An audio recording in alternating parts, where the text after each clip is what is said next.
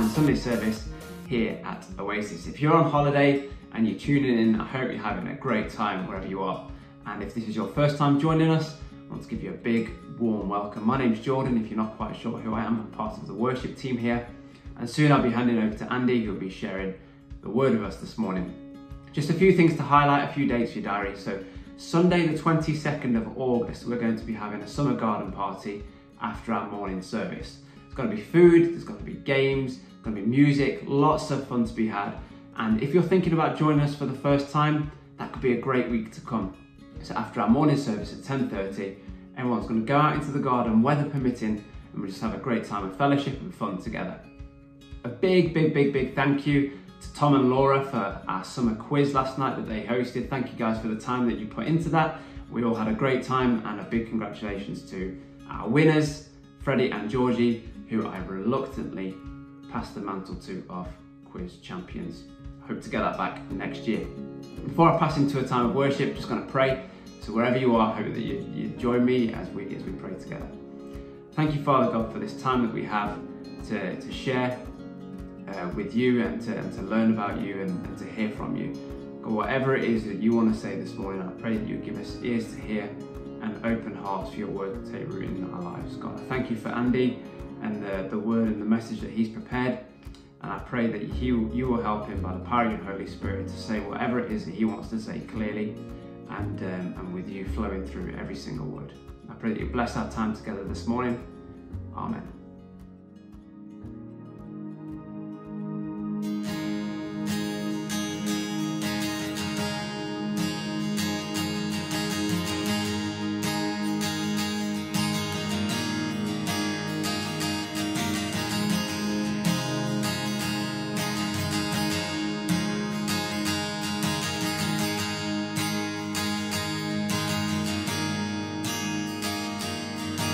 Christ is my reward and all of my devotion. And now there's nothing in this world could ever satisfy. Through every trial, my soul will sing no turning back. I've been set free, and Christ is enough for me, and Christ is enough for me.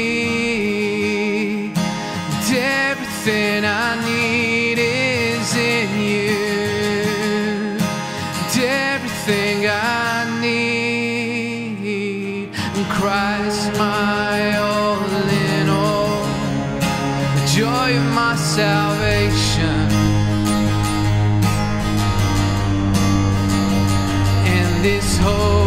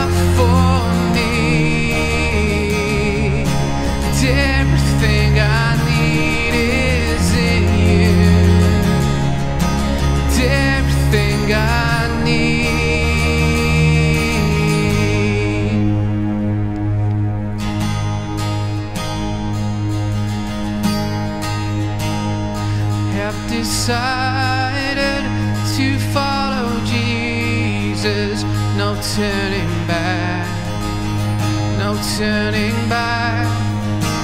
I have decided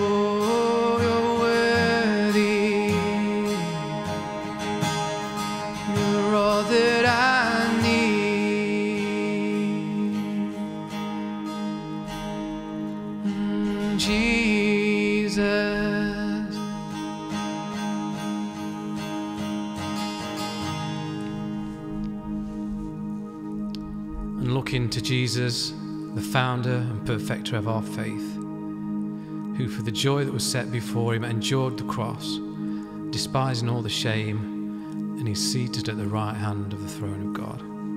Lord, we worship you and thank you for your sacrifice. And we worship you as you're seated upon the throne right now.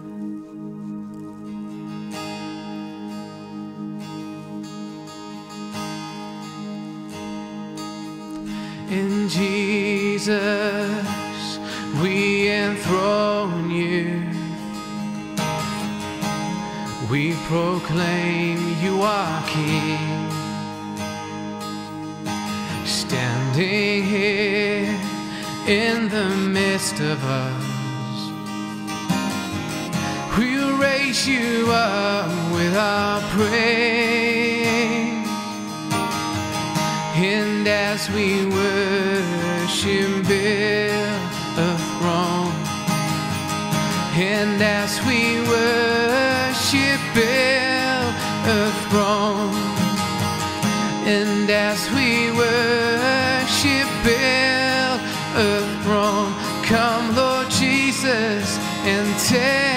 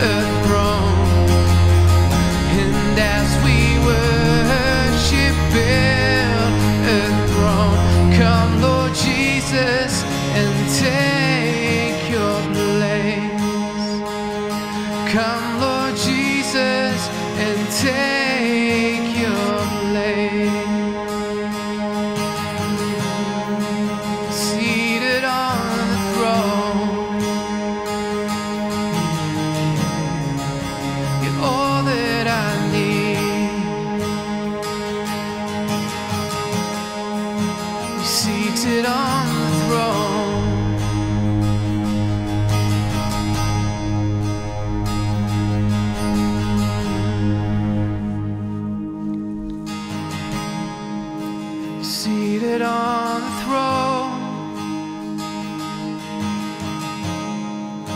The Lamb who came to die.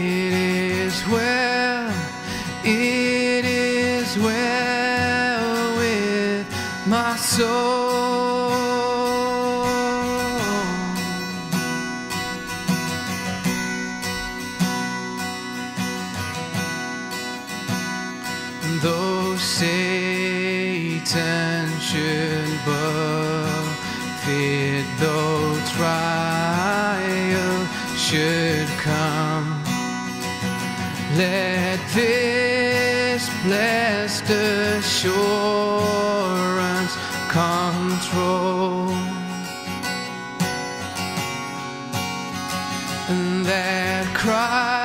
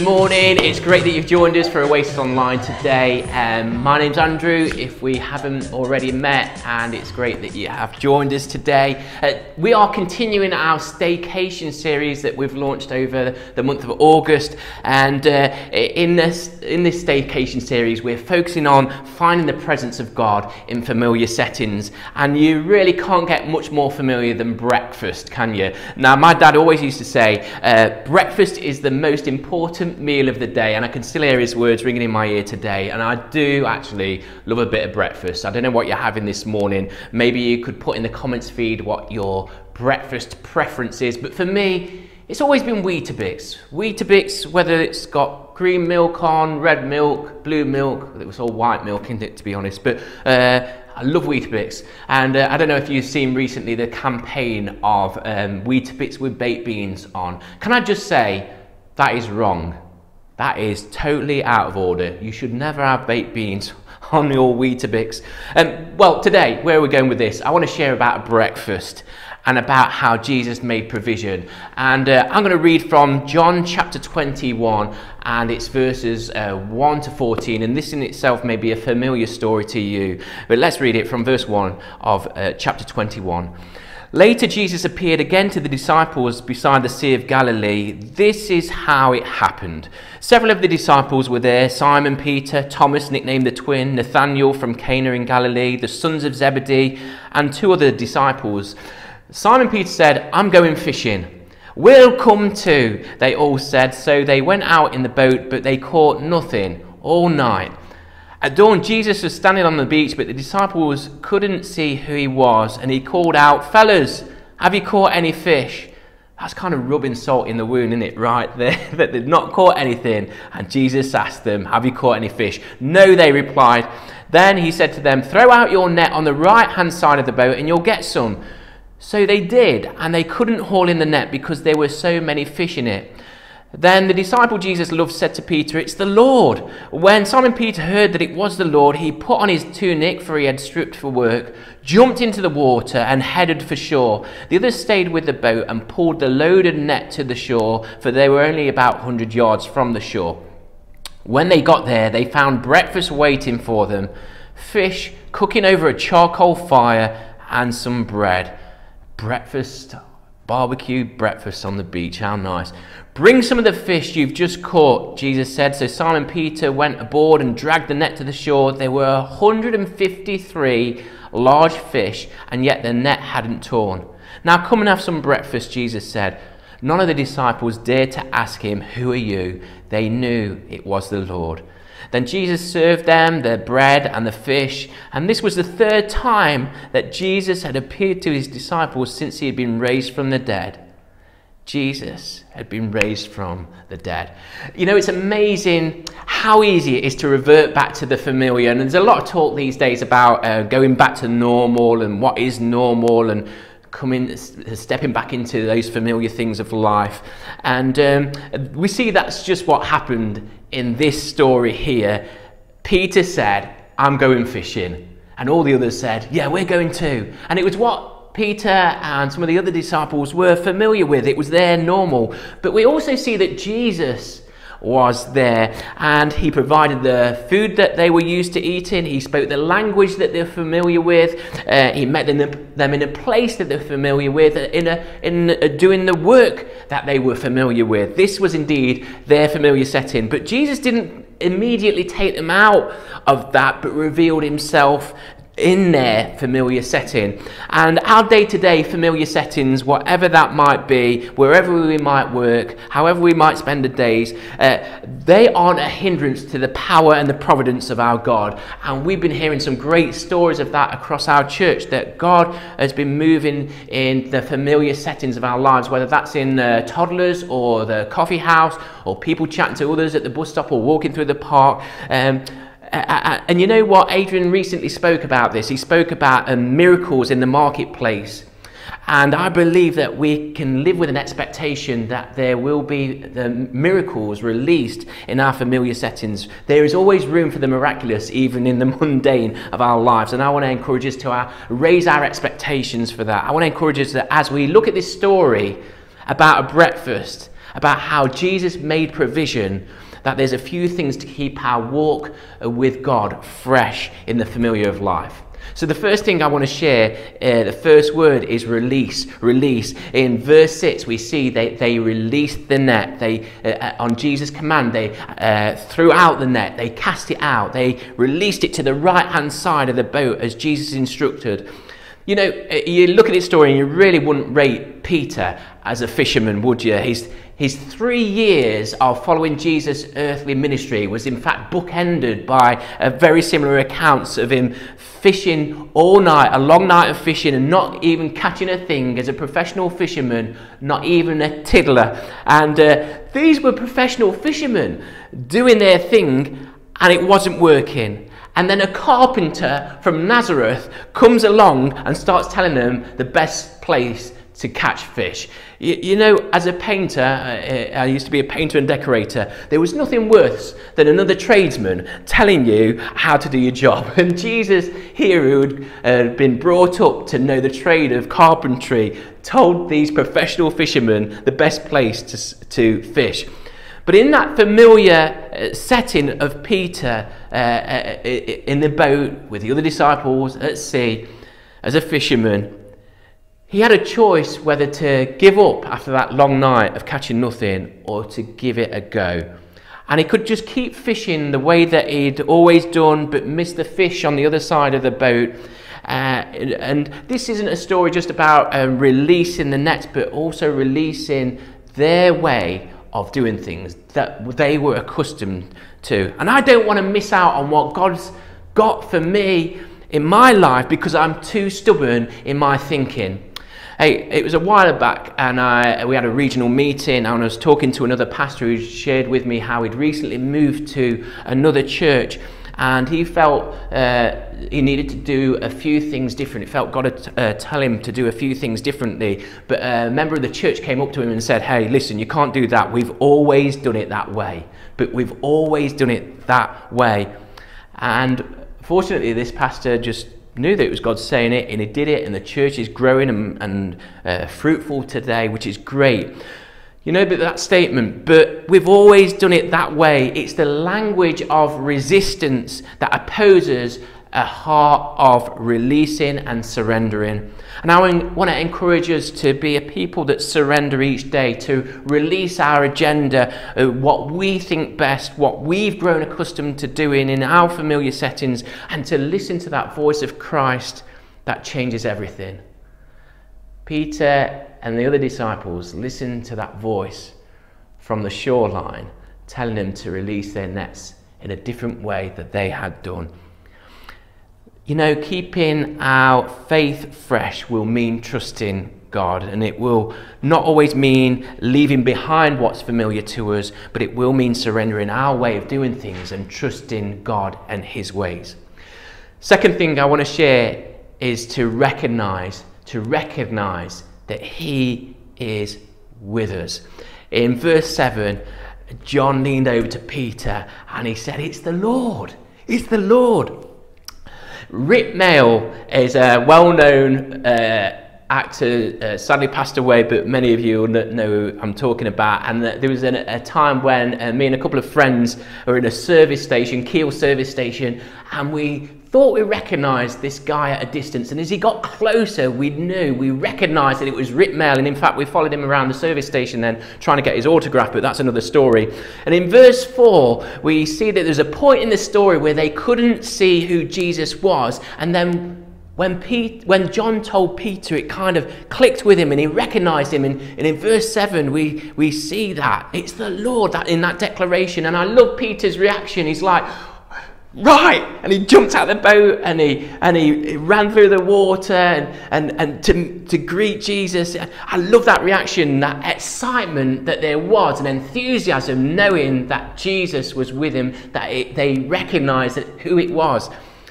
And maybe you're struggling to see jesus to, to know that he's there. Can i encourage you to look again just as the disciples did from out at the sea to looking on the shore. They looked again and they knew that he was with him. I pray that uh, we would have an enthusiasm and an excitement in our faith and in our life as we recognize that He is there with us, to recognize Him, to, to see His hand, to see His purposes each day, even in the routine and the familiar of life. He's there with us. I, I, I want to encourage us to recognize Jesus in the familiar, but never to grow too familiar with Jesus that we fail to see who He is. And in Matthew chapter 13, we, see a story, an account that uh, in, in Jesus' own town, the place that he grew up, that people were familiar with Jesus, but they failed to recognize who he was. And they put it down to him just being a carpenter's son. Oh, he's just his, his mum's just Mary. Oh, we know his brothers. Oh, they, they live here too. And sadly, they failed to recognize him, uh, and, but they also rejected him because they failed to recognize him.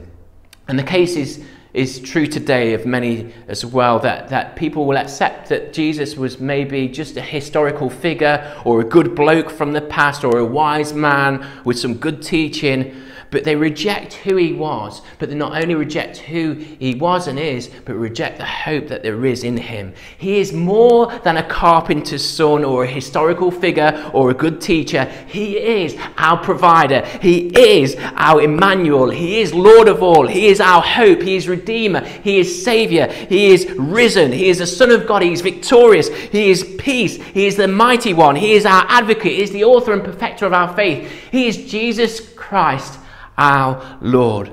And in verse 12, as they sat down to breakfast, we read that they knew it was the Lord. The disciples knew it was the Lord. The closer the disciples got to Jesus, the more they recognized his grace and his love in their lives. There's a Christian author, and his name's David Spun, and he, he said this The closer we come to Jesus, the more we recognize His perfect love, the more we see how far removed we are from this perfection. But He calls to us with that love and forgiveness. He invites us to grow to become more than we ever could be on our own. Let me encourage us today to come close to Him, to recognize Him in each day of our familiar settings. Third and final thing I want to share after we've looked at releasing and recognizing is to remember. To remember, we read in verse 11 that there were 153 large fish, that they counted the, the fish. They remembered how many fish they were and later made a note of it. Uh, I have a memory about counting fish. I was mackerel fishing a few years back with my eldest son and uh, oh, we, we, we was just blown away. We kept catching the mackerel and in the end, after about half hour fishing, we caught 24 mackerel. And yes, we did count those fish because we were so impressed at our level of fishing. I'd never done mackerel fishing before. And uh, we thought we are going to go away with a real feast here. But the fishermen in the end shared them out with everyone else who had barely caught anything, so we ended up with about four fish. Why count the fish? Well, you know, there's all sorts of theories about why we know there's 153 fish in this account, why it's recorded. Augustine uh, noted that the number 153 is a triangular number and it's the triangle of 17. Um, um, some scholars say that there are 153 different uh, types of fish in the sea, and so it represented the variety of people that would be saved. Well, listen, I'm not a scholar or a theologian, but I reckon they were just blown away by the number. 153 large fish. They were amazed at the provision of Jesus, of this miracle. They were awestruck by the number and they counted them to remember that this was a day where, in the familiar, Jesus stepped in and changed everything. You know, I, I, thinking about this uh, a, while back, um, me and my wife, uh, we, re- we can recall this to, to this day. We received a financial gift uh, at a much needed time, and we'd prayed for a breakthrough, and then we received this anonymous gift. And I could tell you exactly how much it was given to us because we counted it and we counted it again because we were just uh, uh, amazed at how God had moved in someone else's heart and made provision for us uh, with the exact amount that we needed. Incredible. You know, in this moment, as we think about remembering what must have been going through the disciples' minds, what did they recall at that time? What was it about this time and place that was uh, familiar so familiar to them that, that they remembered and they recalled it. Uh, And this was the place that the feeding of the 5,000 took place, the miracle there uh, at the Sea of Galilee. Maybe Peter remembered his denial of, of Christ. Maybe Thomas could remember his doubting. Maybe James and John uh, recalled and remembered their attitude that got them the nickname uh, Sons of Thunder. Um, maybe they remembered what they really wanted to forget. But Jesus still called them to himself to remind them of who he was. You know, this must have, as I mentioned earlier, must have reminded Peter of how he started his relationship with Jesus on that day where he'd been fishing all night and didn't catch a thing. And it's recorded in Luke chapter 5 that the, the miraculous catch then. And uh, Jesus saw, as he looked at Peter, I'm sure, all the failings and frustrations, but he called him to follow him. And now, in the f- fears and the failures and the frustrations that Peter had on this occasion, Jesus was still calling him to come and follow. It was as though Jesus was saying to him, Look, I called you then, I'm calling you now. I, I was with you then, and I'm with you now. I provided then, and I'm providing now. And in verse 13, we see that Jesus took the bread and he broke it and he gave it to the disciples. And it must have been a reminder for them in that moment of the many times that they'd eaten together with Jesus, but also the Last Supper that they'd shared together, where in fact Jesus said, Remember me as he broke the bread. Charles Spurgeon, um, known as the Prince of Preachers, he, he said this uh, When he, Jesus, fed them, when he gave them the bread, when he gave them the fish, it was a melting season. They remembered how he washed their feet, but then he was in his state of humiliation. And they marveled yet more that now he was risen, he would still be among them as one that serves. They were done with surprise and gratitude and love.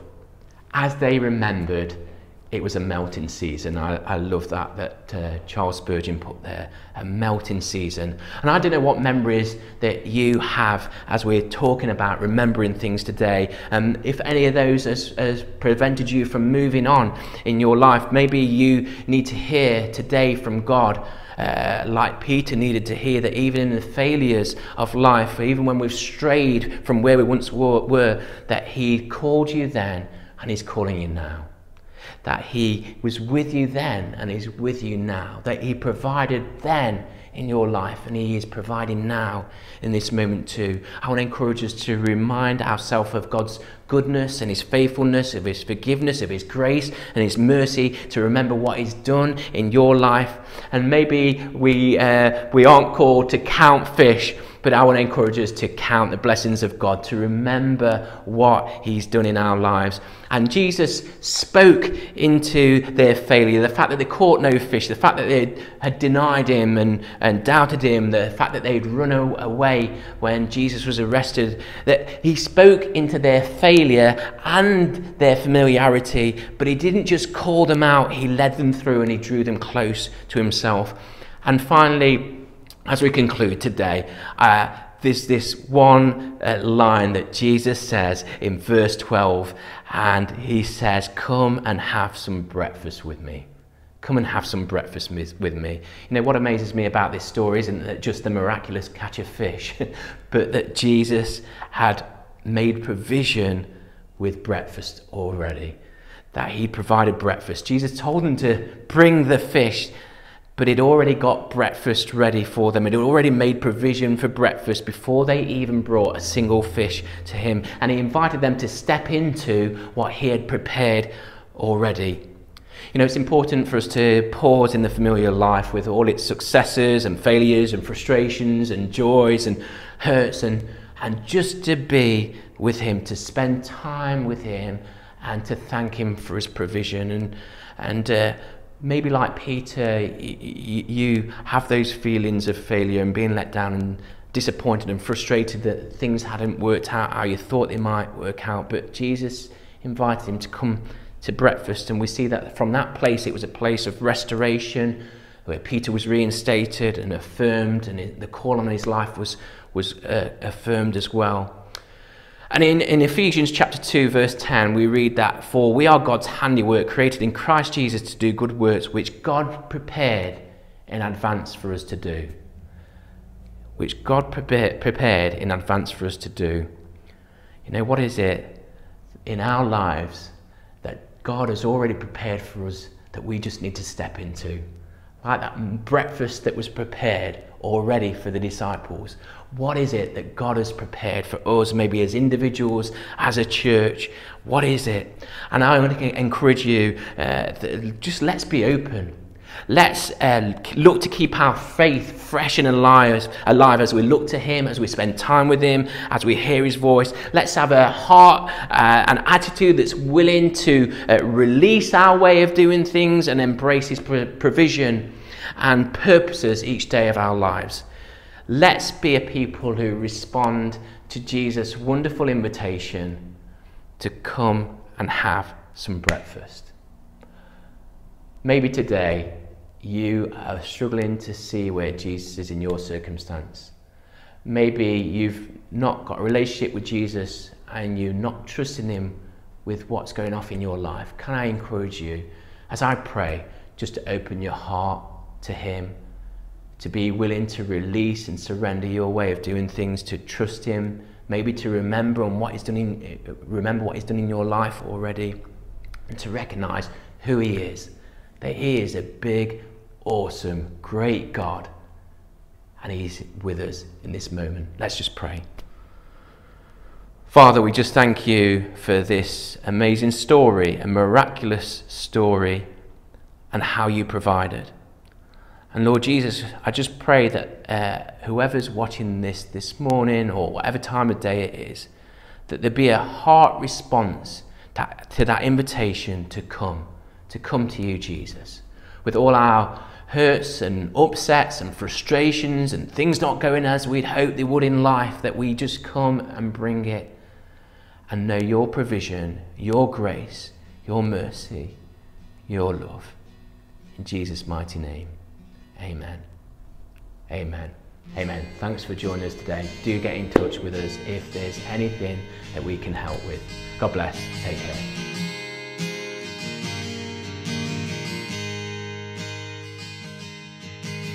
Great your faithfulness. Oh God, my Father. Oh God, my friend. Your love never fades, and so I love you until the end. When shadows fall, you never change. From age to age, you never change. Great is your faithfulness, your faithfulness. Through the years, you've always been there. And great is your love for us, your love for us. Through the years, you've always been there. And great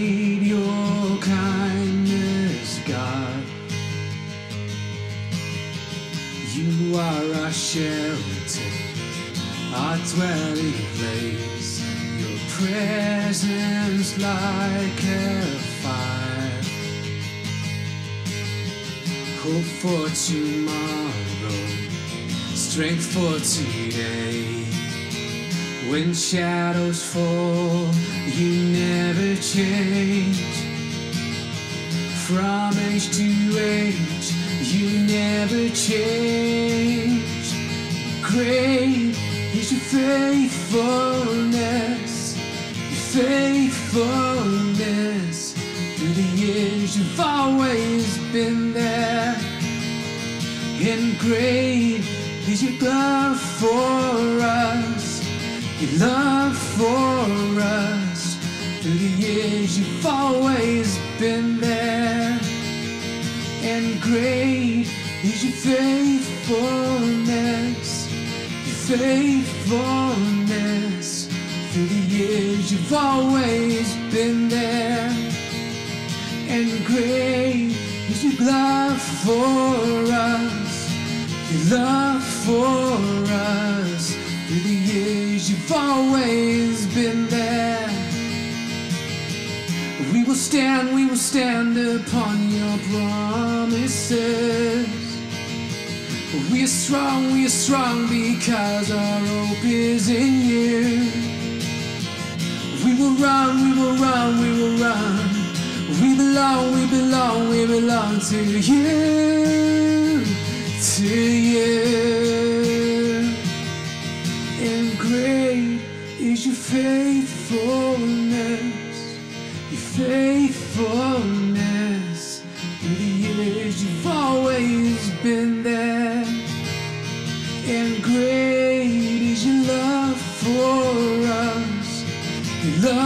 For us.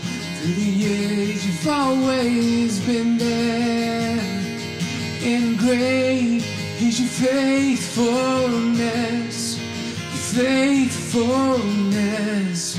Through the years, you've always been there.